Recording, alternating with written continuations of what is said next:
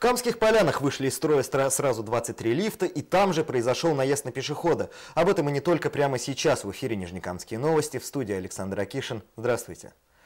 Коллапс в Камских полянах. Из-за скачка электроэнергии в поселке вышли из строя сразу 23 лифта. Коммунальщикам с трудом удалось починить 14 подъемников, а 9 не работают до сих пор. Кстати, все лифты были запущены в этом году по федеральной программе, ну а сейчас комполянцы подсчитывают убытки. У 40 из них сгорела бытовая техника. В свою очередь, коммунальщики собираются направить в Нижнекамские электросети иск с требованием возместить убытки.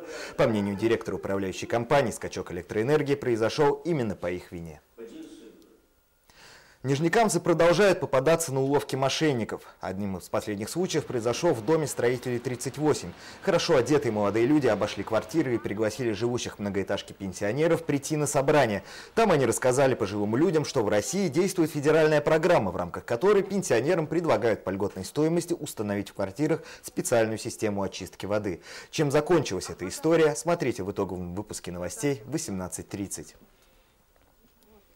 Камских полянах сбили человека. ЧП произошло накануне 18.50 во втором микрорайоне между 11 и 30 домами. 25-летний водитель автомобиля ВАЗ-2112 сбил женщину 60 -го года рождения. Она переходила проезжую часть вне пешеходного перехода с различными травмами. Пострадавшую доставили в больницу. Уже через несколько минут после случившегося ДТП получило широкий резонанс в социальных сетях. Кое-кто из очевидцев утверждал, что водитель был в полицейской форме, а некоторые узнали в нем местного участкового. В дополнение интернет интернет-пользователи утверждали, что 12-я двигалась с повышенной скоростью. Так ли это, выяснить нам удалось.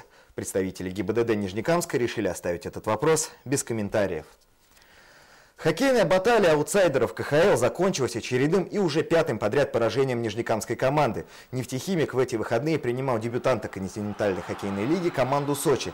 Хозяева открыли счет первыми, однако еще до конца стартового периода в наши ворота влетело сразу три шайбы. Сократить отставание в счете удалось Глебу Клименко, но соперники сумели забить вновь. В третьем периоде шайбу ворота гостей удалось забросить Максиму Березину, и счет стал 3-4 в пользу сочинцев. Однако удача оказалась на стороне западной команды. До конца матча гости забили еще две шайбы. Итог 3-6 и очередное поражение нефтехимика. За окном продолжается потепление, 3 градуса выше нуля и незначительная вероятность осадков. К утру же синоптики обещают нам погоду в минус 1 градус. Уже через полтора часа в эфир выйдет итоговый выпуск новостей, и вот одна из его тем. Вечером деньги, утром стулья. Говорил, ничего страшного не произойдет, давайте э, диван вечером заберем, деньги прямо сейчас я вам отправлю. Как не попасть на крючок современных Остапов Бендеров? На этот же час у меня все. До свидания.